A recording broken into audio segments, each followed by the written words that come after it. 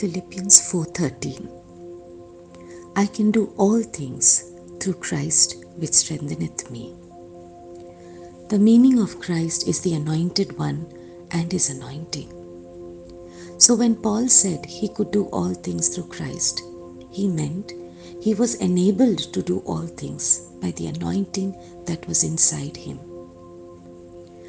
You see, the truth is, when we accepted Christ as our Savior and invited Him into our lives, He came as He promised. But there is one huge portion of the truth we happen to overlook. Christ came along with the anointing that was on Him.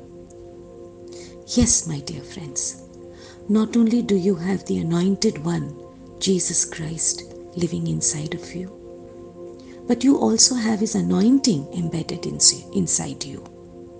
And that was exactly why Paul said he could do all things because the anointing would enable him. You see, when the sick man was brought to Jesus to be healed, Jesus did not say, Be healed, but he said, Man, thy sins are forgiven thee. Why would Jesus say that? That is because there are no different anointings for different needs. There is just the one anointing. And it is this one anointing that empowered Jesus to heal, to forgive, to deliver, and accomplish all the different things that he did. And today, that same anointing, which was upon Jesus, which was upon Paul, and upon all the apostles, is in every one of us who has Christ as our Savior. The anointing that enabled Jesus to live such a marvelous life is also in us to empower us to do all what God has called us to do. So it's high time that we avoid doing all the junk that we are into.